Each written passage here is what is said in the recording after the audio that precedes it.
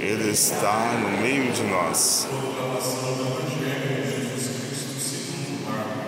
Glória a vós, Senhor.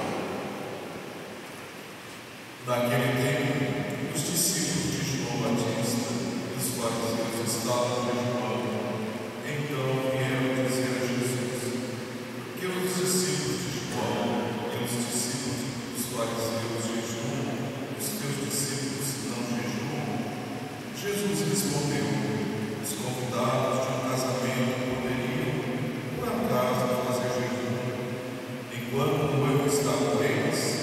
Enquanto noivo está com eles, os convidados não podem jejuar. Mas vai chegar o tempo em que o noivo será tirado do meio deles. Aí, então, eles vão jejuar. Ninguém põe